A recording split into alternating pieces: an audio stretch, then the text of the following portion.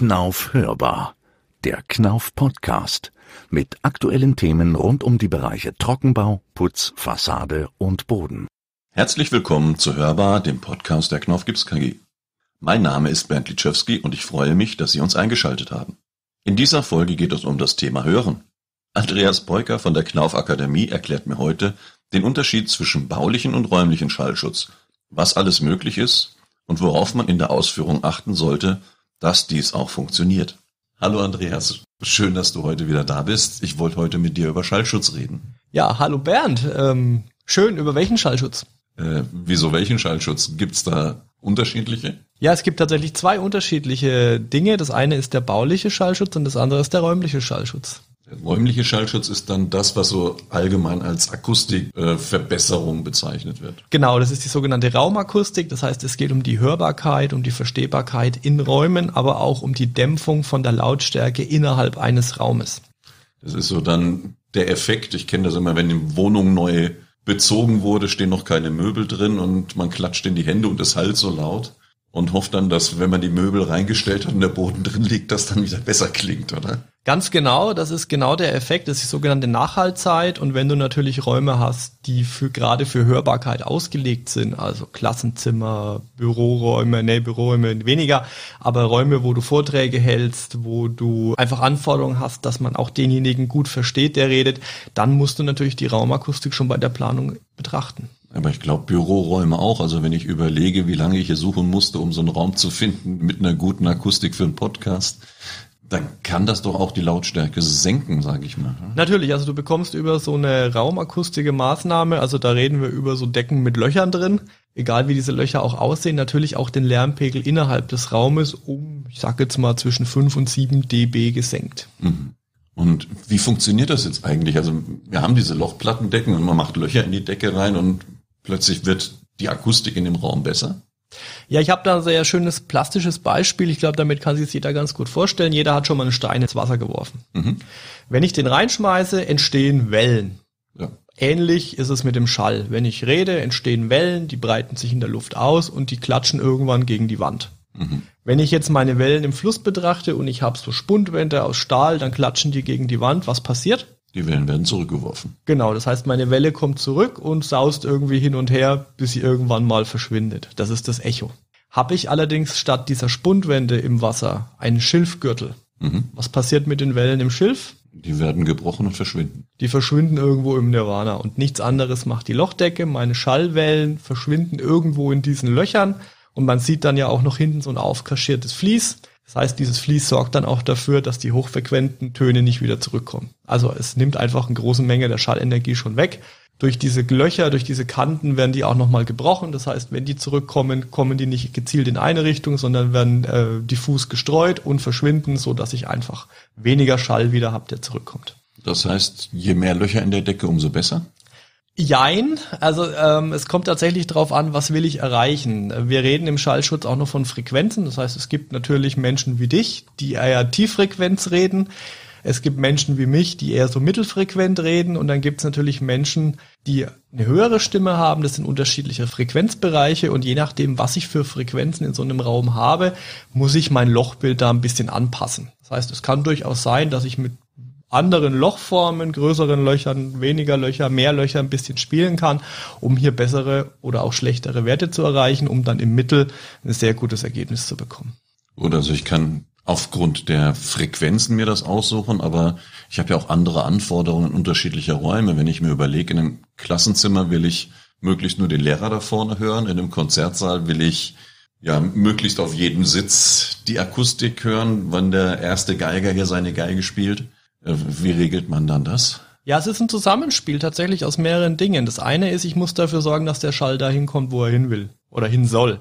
Das heißt, ich muss zum Beispiel dafür sorgen, dass ich, wenn ich irgendwo stehe und rede, hinter mir keine Fläche ist, die absorbiert, weil sonst ist schon mal ein Teil meines Schalles weg. Das heißt, hinter wenn du dich rumdrehst, hört man dich nicht mehr sonst. Ja, so ungefähr. Äh, ich will ja aber auch zum Publikum schauen, trotzdem verschwindet ein Teil des Schalls in der Wand hinter mir. Das heißt, hinter dem Redner zum Beispiel eine schallharte Wand. Dafür muss ich aber dafür sorgen, dass vielleicht am anderen Ende des Raumes eine Absorberwand ist mit vielen Löchern drin, weil ich will nicht, dass der Schall wieder zurückkommt, weil sonst höre ich den so mit einer gewissen Zeitverzögerung auch die Leute. Ich muss vielleicht dafür sorgen, dass hinten an der Ecke oben auch nochmal ein äh, Diffusor ist oder eine äh, schräge Wandscheibe, die dafür sorgt, dass der Schall auch wieder gezielt vielleicht zurückkommt. Also es sind viele Dinge, die hier zusammenkommen. Ich muss einmal, wie gesagt, dafür sorgen, dass der Schall dahin kommt, wo er hin soll und dass er nicht wieder zurückkommt, wo er nicht zurückkommen darf. Mhm. Und das kann ich dann dementsprechend mit einer Raumbelegung, wo ich welche Fläche mit drauf mache, raufbringen. Gibt es da irgendwelche Hilfsmittel, auf die ich als Planer zugreifen kann? Ja, wollte ich gerade erwähnen. Wir haben natürlich unseren Schallschutzordner bei Knauf, den kann ich mir runterladen auf der Knauf-Seite. Da haben wir sehr viele Beispiele, auch tatsächlich gemessene Beispiele an konkreten Räumen, wo wir, wenn man jetzt sagt, okay, ich will ein Klassenzimmer machen, ich will einen Hörsaal machen, ich will einen Kindergarten machen, kann ich einfach die entsprechende Beispielseite mir raussuchen und gehe dann hier rein und dann sehe ich auch schon sehr gut, was muss ich beachten und da ist es jetzt egal, ob der Raum 30 Zentimeter länger oder kürzer oder höher ist. Das äh, vom Gefühl her kommt auf das Gleiche raus. Wenn ich es natürlich ganz speziell wissen will, kann ich auf der knauf.de Seite auch den Raumakustikrechner benutzen. Über den kann ich mir das dann auch gut ausrechnen äh, mit ein paar Parametern, die ich da eingeben kann, wie viele Leute sitzen drin, wie viele Stühle, welche Größe, was für Beläge, damit ich dann einfach auch das richtige Ergebnis bekomme. Ja, da kann man vorher schon viel planen und machen, bloß in der Realität stelle ich immer wieder fest, an die Akustik wird nicht gedacht und man merkt dann hinterher, oh, da hätten wir was machen müssen. Kann ich da nachträglich noch Löcher in die Decke reinbohren oder wie kriege ich hinterher eine Akustik in den Raum? Das kannst du machen, aber es ist natürlich ein Riesenaufwand äh, und ich weiß nicht, ob es so zielführend ist. Es gibt natürlich auch Möglichkeiten, nachträglich Absorber an die Decke zu hängen. Diese ganzen Lochplatten, wie du sie kennst, haben wir natürlich auch als fertige Kassettenelemente. Das heißt, ich kann die Gipsplatten auch als Stückware, keine Ahnung, Format 1,50 auf 2 Meter oder wie groß die dann auch immer sind, mit Seilen an die Decke hängen oder an eine mhm. Unterkonstruktion. Ich kann aber natürlich auch bisschen weggehen von dieser Lochgipsoptik. Ich habe die Möglichkeit, hier mit Filzabsorbern zu arbeiten. Wir haben ja bei Knauf die Neo Single Smart. Das ist so ein 10 Millimeter dicke äh, ja, PET-Filzmatte, mhm. die ich in verschiedenen Farbtönen auch bekomme, die ich an die Decke, an die Wand hängen kann. Sehr einfaches System, schöne optische Oberfläche und da kann ich auch entsprechende Maßnahmen äh, mit umsetzen. Und könnte dann auch spezielle Bereiche über den Besprechungstisch oder sowas auch, ich sag mal, örtlich begrenzt akustisch verbessern. Genau, jeder kennt ja diesen Lauttelefonierer im Großraumbüro. Mhm. Das sind die, die man immer erkennt, die dann rausgehen zum Telefonieren oder über denen hängen dann in der Regel auch die Absorber schon an der richtigen Stelle, damit die so ein bisschen gedämpft werden und die anderen beim Telefonieren nicht belästigen. Ähm, ein Punkt wollte ich vielleicht noch erwähnen, diese Lochoptik kennt jeder. Mhm. Natürlich ist es aber für einen Planer auch immer wieder spannend, die Optik so hinzubekommen, wie er will. Eigentlich will man ja keine Löcher, man will ja glatte Oberflächen. Das heißt, wir haben ja auch noch ein neues System im Angebot, unser sogenannte Clineo Systex. Das heißt, wir mhm. bringen auf eine spezielle Lochplatte nochmal eine Tapete auf, so dass man optisch eine geschlossene Oberfläche hat, aber trotzdem sehr gute akustische Werte. Ist eine sehr elegante Methode, eben die Raumakustik auch zu verstecken. Die Tapete ist dann, stelle ich mir vor, wie so ein Schaumstoff, die den Schall durchlässt an die Löcher? Die Tapete ist tatsächlich was Spezielles. Ähm, die verkaufen auch nicht wir hier bei Knauf, sondern mit einem Systempartner Vitrolan, die sich also speziell mit Tapeten beschäftigen. Es ist eine, kann man sich vorstellen, eine Tapete mit ganz feinen Löchern innen drin. Mhm. Die wird auch nicht mit Tapetenkleister draufgeklebt, sondern mit so einem speziellen äh, Kleberträger. Also da wird im Prinzip so Klebedots erst aufgebracht und da wird die Tapete aufgebracht und äh, die ist dann eben durchlässig und lässt den Schall in die Lochplatte dahinter verschwinden und dann ist auch eine super Raumakustik damit zu erreichen. Gut, viele Möglichkeiten von den ja, Konstruktionen bis hin zu den Oberflächen. Jetzt haben wir aber beim Thema Schallschutz, ich habe jetzt gelernt, baulicher Schallschutz, dann immer mal so ähm, Punkt, dass ich oft höre, naja, so eine, so eine Gipswand, da hört man aber nebendran, wenn einer was spricht. Oder wie ist das denn mit dem baulichen Schallschutz? Was bringt denn dann so eine Gipswand? Ist da nicht eine Ziegelsteinwand besser, die ich da hinbaue? Da zwei Fragen in eine. Müssen wir ein bisschen ausholen. Was willst du denn für einen Schallschutz erreichen? Ich will, dass ich jetzt hier aus den Nachbarnbüros die nicht telefonieren und sprechen höre, wenn wir hier unser Podcast aufzeichnen. Siehst du, damit hast du schon eine Anforderung definiert. Wir müssen also, wenn wir über Schallschutz reden, auch definieren, was wollen wir erreichen. Es gibt natürlich Regelwerke, es gibt wieder die Normen, die mir sagen, genau wie viel muss eine Trennwand zwischen zwei Räumen erreichen an Schallschutz. Mhm. Allerdings muss man wissen, dass diese DIN-Norm nur Mindestanforderungen stellt. Die sorgt dafür, dass es keine gesundheitlichen Schäden durch dauerhafte Schallbeeinträchtigung gibt. Mit Komfort hat das Ganze aber noch gar nichts zu tun. Gerade wenn ich heutzutage einen Neubau baue, erwartet mein Bauherr was anderes von seiner Wand zum Nachbarn oder gar zwischen den Räumen als das, was in dieser DIN-Norm drin. Also wenn ich in meiner Wohnung dann meine Nachbarn höre, wenn die laut miteinander reden, dann entspricht das noch der Norm? Äh, das kommt tatsächlich ein bisschen drauf an, was du für ein Gebäude hast. Äh, wenn du natürlich ein Gebäude von 1400 Feuerzeug hast, äh, dann... Nein, ich spreche jetzt vom Neubau aktuell.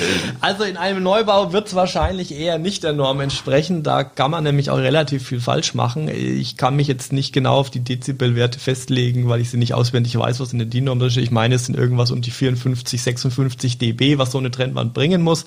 Die filtert dir in der Regel, so nenne ich es jetzt einfach mal äh, salopp, schon den Schall raus, dass du den Nachbarn nicht mehr verstehst. Aber es kann durchaus sein, dass du laute Sprache noch wahrnimmst. Mhm. Und gerade in einem höherpreisigen Bereich, wenn ich moderne Wohnungen bauen will, ist das heutzutage auch nicht mehr Stand der Technik. Da willst du abends deine Ruhe haben, da willst du nicht hören, wenn die Nachbarn sich in der Küche unterhalten als Hintergrundgeräusch, sondern da willst du die gar nicht hören. Und dementsprechend kannst du hier über verschiedene Zusatzregelwerke Anforderungen stellen, bis hin zu ich höre Sprache gar nicht mehr. Und dann brauchst du aber natürlich auch eine andere Gipskartonwand, als du brauchst, wenn du nur Standard bauen möchtest. Nochmal auf meine Eingangsfrage mit hinzukommen, kriege ich das mit Gipskarton überhaupt hin? Weil dünner Karton, ein bisschen Ständer und nochmal dünner Karton, ist da nicht eine massive Wand besser?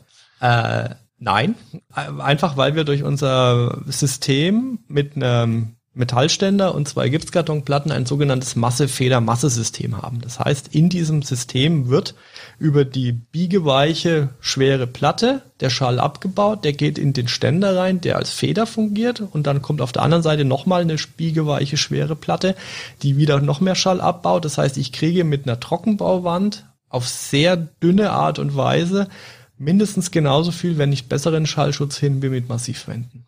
Das heißt, die Schwingungen, die du vorhin erklärt hast, kommen jetzt an die Spundwand, letztendlich diese äh, ja, erste Gipslage, die fängt das Schwingen an, gibt aber die Schwingungen nicht weiter.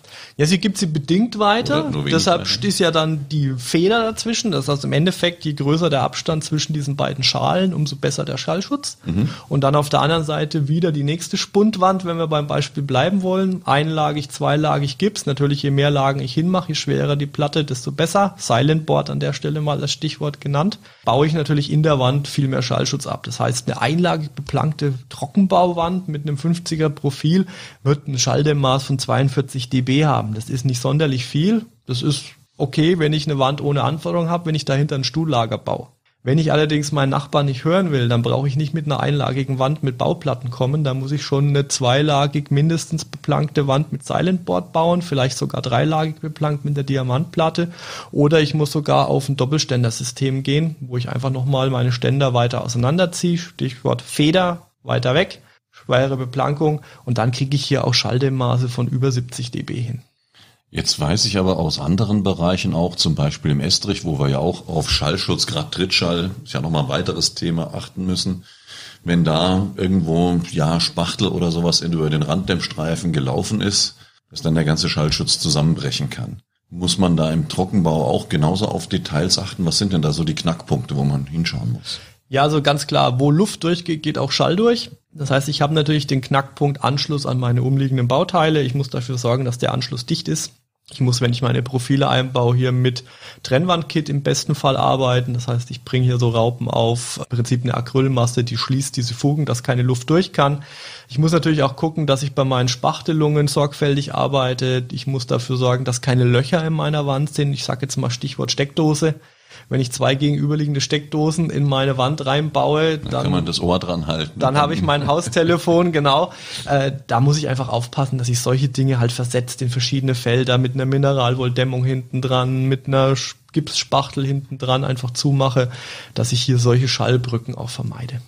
Ja, Mineralwolle ist auch nochmal so ein Stichwort. Ich habe mal gelernt, dass die Glaswolle-Einlage in der Trockenbauwand vom Brandschutz her gar nichts bringt, aber beim Schallschutz bringt sie Ja, wir prüfen unsere Wände für den Brandschutz ohne Dämmung. Das heißt, mhm. die Wand braucht erstmal keine Dämmung, um den Brandschutz zu gewährleisten. Soll die Wand aber die Schalldämmmaße erreichen, die in unseren Unterlagen drinstehen, muss ich zwingend eine Mineralwolle reinlegen. Mhm. Da steht genau drin, was es für eine Mineralwolle sein muss, damit ich dann am Schluss auch die gleichen Werte erreiche, die in unseren Unterlagen drinstehen. Ja gut, und dann auf die Anschlüsse achten. Durchdringungen, Steckdosen, Türen ist natürlich auch ein Thema. Weil jedes Bauteil ist immer nur so gut wie die schlechteste Stelle, sage ich mal. Genau, wenn du ein Loch reinmachst, musst du dafür sorgen, dass das Loch auch wieder geschlossen ist in einer vernünftigen Qualität.